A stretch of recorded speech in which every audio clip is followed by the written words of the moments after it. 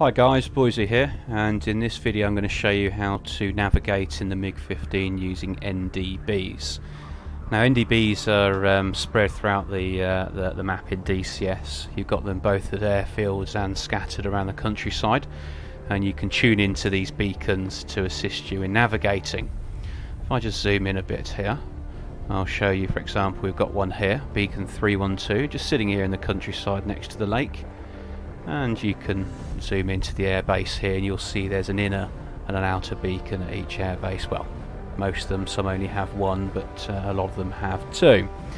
So what we're going to do today is fly a very simple route using the beacons. We're going to take off from Krasnodar Center and uh, we're going to fly to beacon 312 and then from there we'll uh, fly on to this airfield here Maykop I'm not going to pronounce the whole name of it. I should butcher it I would imagine but uh, that's where we're going to end up. And we'll do this just by using these beacons. It's fairly straightforward, um, but let's uh, hop in the cockpit and uh, I'll show you how to do it.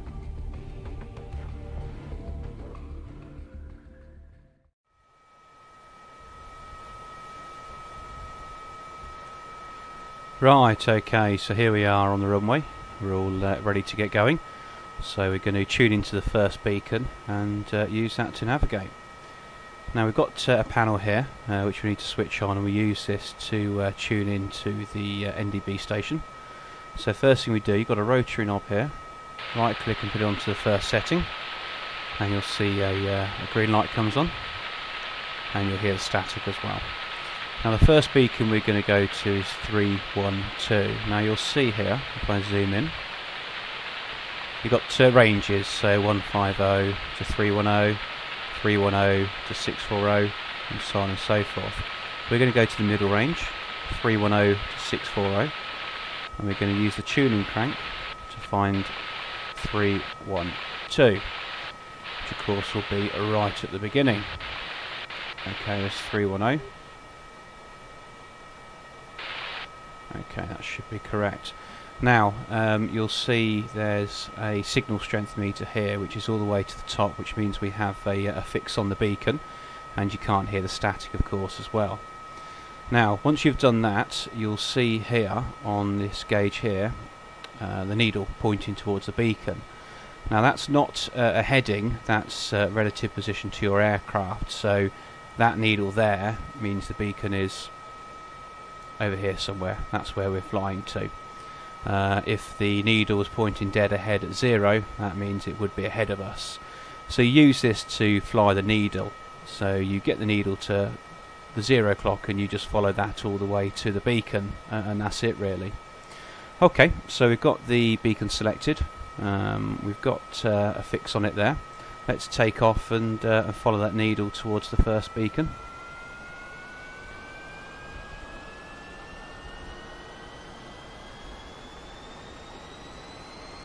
Okay, roll.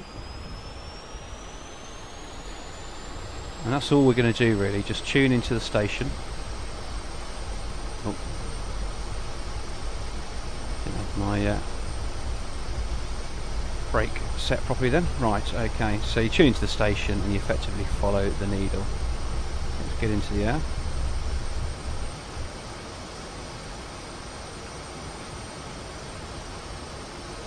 We'll build up a bit of speed before we uh, turn towards that beacon. Get the flaps up. Okay, great. So if you look at this gauge here, you'll see that the beacon is effectively behind us. So we're going to turn left, and you'll see that needle will start tracking to the zero position as we move our nose closer to it. We're going to stay beneath the cloud here, so we'll uh, do the first beacon at low level and then after that we can climb up and uh, find the airfield with uh, no visual uh, on the ground at all. Okay, so you can see there the needle is nearly at zero, which is where we want it to be. We'll just bank slightly further, and then we'll start leveling out. It'll probably rock a little bit as you get uh, get a fix on it. Just trim her out. Okay, so you can now see that it's more or less zero. It's a touch to the right, so we'll bank slightly just to line it up. Uh, and uh, make sure we're on the right uh, the right path.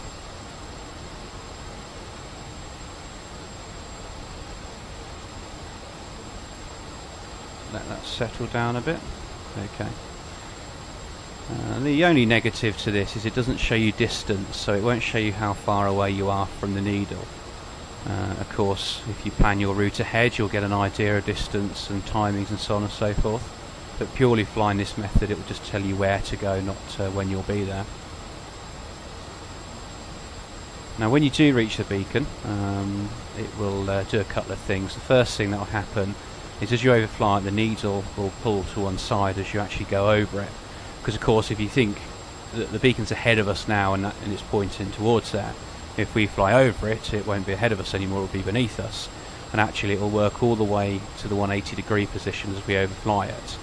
So you'll know that you're over the beacon when the uh, the needle starts going either left or right uh, and towards the back. The second thing is if you fly directly over the beacon, you'll get a buzzer sound as well and a light here. There we go. Now that's not the beacon we want. That must be a beacon for this airfield there, so ignore that, but that was a perfectly timed demonstration. Blimey, couldn't have planned that better. So there's an example of it. As we fly over the beacon, both the needle will start misbehaving and we'll get that buzzer as well and you'll know that we're there. So we'll just continue a bit further. Now having looked at the mission planner I know that the beacon's the far side of this large lake so it's not too much further before we get there.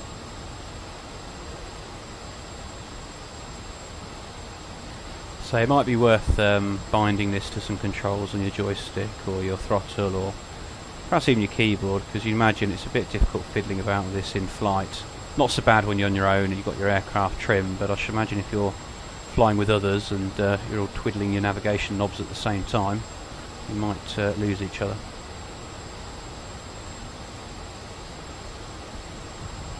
Okay, so not much further to go till we get to the beacon. I say, it's just really a case of just following this needle, it's not particularly complicated at all.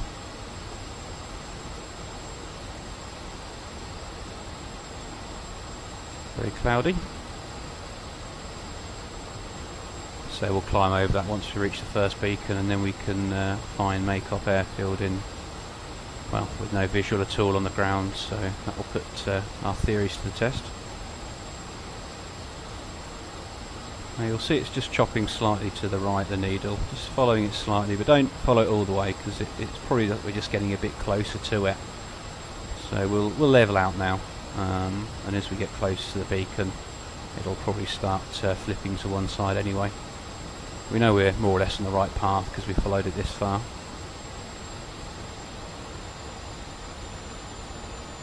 Now we've made it across the lake, so it can't be much further I wouldn't imagine.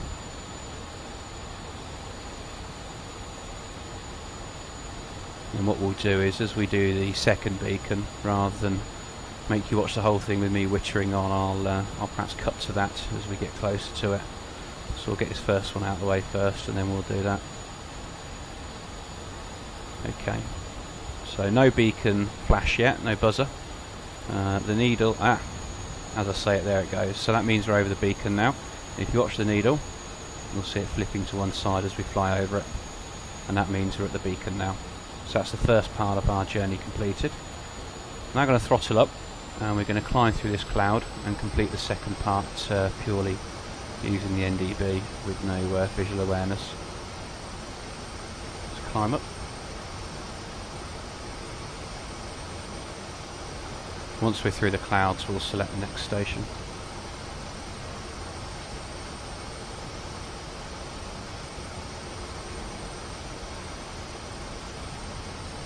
Right, should be bursting through. Yep, there we go.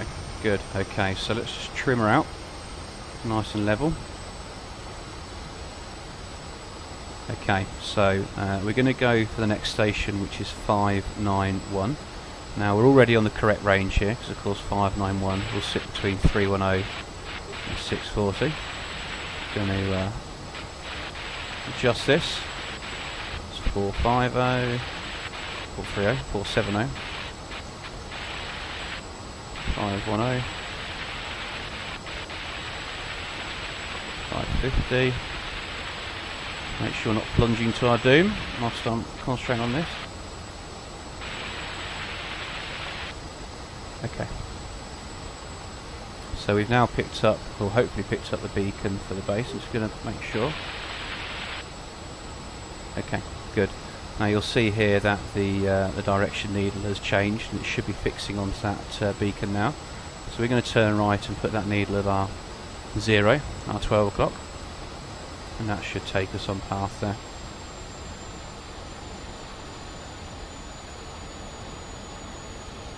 Okay, just keep turning until you can get that needle at your 12 o'clock. don't know why I'm looking behind me, there's no other aircraft in the sky, I'm not going to get shot down.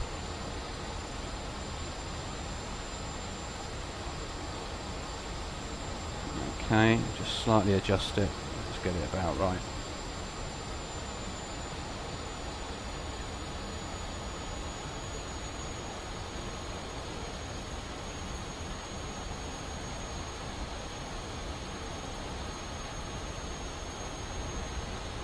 There we go. It's about right. Just let it settle down. We should be more or less on the right heading there.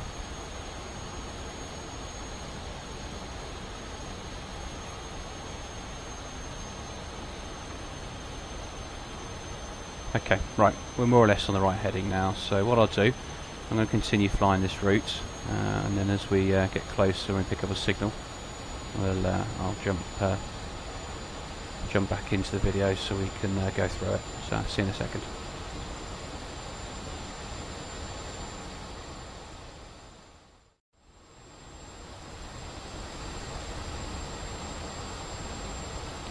Right, okay, it looks like the needle's starting to move slightly. We've kept the same course, but it's veering to the left slightly now. We're not going to try and follow that. I think that's, yeah, that indicates that we're over the beacon. You can see it really moving now. We'll let uh, let it go past, and then we'll uh, we'll go and see if we're in the right place. Yeah, there we go. Okay, we've got no buzzer. Uh, not a massive issue. Probably means we're not directly over it, but that means the beacon's behind us now, which is at the airfield, so it should be down there. So I'm going to cut throttle, and uh, I'm going to enter a left hand, and we're going to uh, slowly descend through the clouds. And uh, if everything has gone well, then we should see the airfield relative to that needle. So if you imagine now the needle showing sort of behind us there, which means the airfield should be about there. And as we uh, descend through, uh, the needle position should say relative to the beacons at the airfields. Let's just keep descending through the cloud. Make sure we aren't overspeeding it, which is very, very easy to do in the MiG-15, especially when you're dogfighting.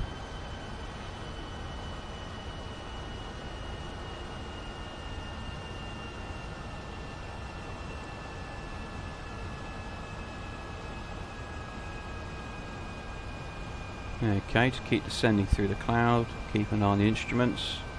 There we go. Right, so the needle's on our left. There should be an airfield on our left. There we go.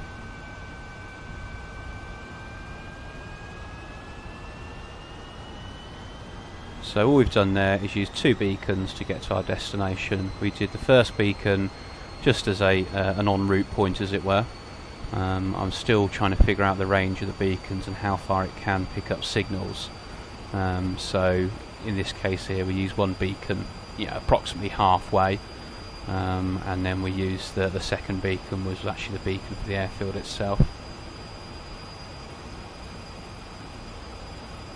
But in essence that's it, so just tune the correct channel on here and uh, make sure it picks up that correct channel and then just follow the needle to your destination.